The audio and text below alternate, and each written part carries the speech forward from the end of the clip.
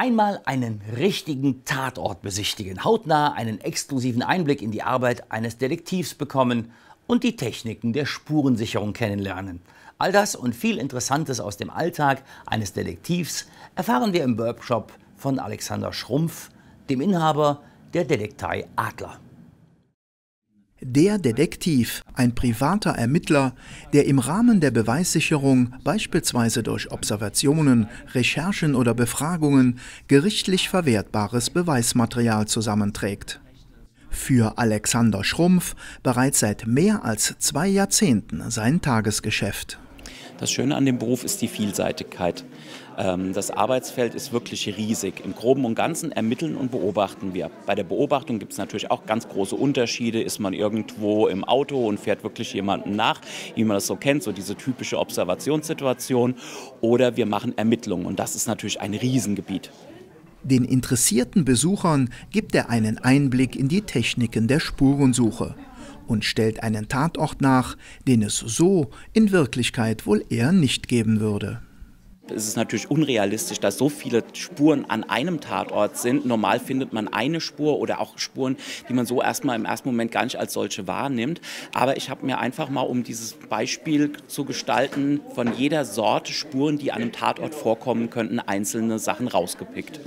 Das sind größere Hauptgruppen. Zum einen lose Spuren, die am Tatort eingesammelt werden, wie man das so kennt vom Fernsehen mit äh, Pinzette in Asservatentütchen oder irgendwelche Eindrucksspuren, wenn man eine Werkzeugspur an einem Fenster oder einer Tür hat oder tatsächlich vielleicht den klassischen Schuhabdruck irgendwo in Erde, der dann mit Gips gegossen wird, bis hin zu latenten Spuren, die überhaupt erst richtig entwickelt und sichtbar gemacht werden müssen. Um das machen zu können, bedarf es nicht nur einer gewissen Erfahrung, sondern auch einer umfangreichen Ausstattung. Dutzende Utensilien für die unterschiedlichsten Einsatzbereiche und manchmal auch mit einer eher überraschenden Anwendung.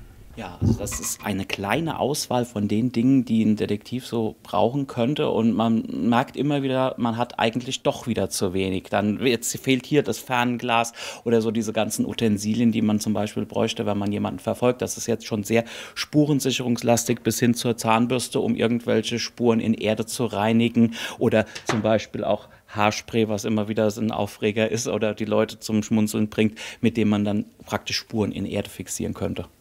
Dass man die mit Haarspray fixiert, das ist ja, war mir nicht bewusst. Und bin gespannt, wenn wir gleich noch Fingerabdrücke machen, dass wir da vielleicht auch noch was lernen. Und wie man die am besten erkennt und sichert, ohne sie zu beschädigen oder gar unbrauchbar zu machen, ist von großem Interesse. Denn ein Fingerabdruck ist oft der wichtigste Hinweis auf den Täter. Jeder Mensch hat seinen eigenen, unverwechselbaren Fingerabdruck und kann mit diesem direkt in Zusammenhang gebracht werden.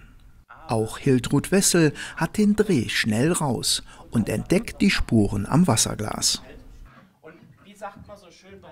Da war ich schon erstaunt, dass das so schnell geht, so zügig geht. Also ich habe es auch selber sofort gesehen, war zwar nicht so komplett, nur so von der Seite, aber das war recht gut zu erkennen.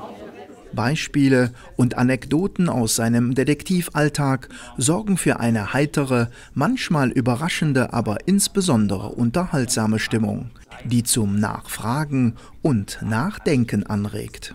Dabei räumt Alexander Schrumpf auch einmal mit den zahlreichen Vorurteilen und Klischees seines Berufsstandes auf.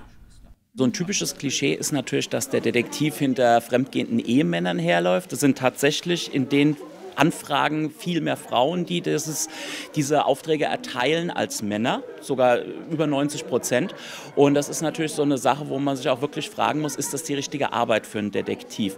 Ähm, hat ein Detektiv was in der privaten Beziehung zu suchen? Vor allem seitdem dieses Scheidungsrecht Ende der 70er Jahre revidiert wurde und nicht mehr schuldig geschieden wird, sondern es gibt jetzt dieses Zerrüttungsprinzip und eigentlich ist so eine Ermittlung vollkommen ohne Aussagekraft.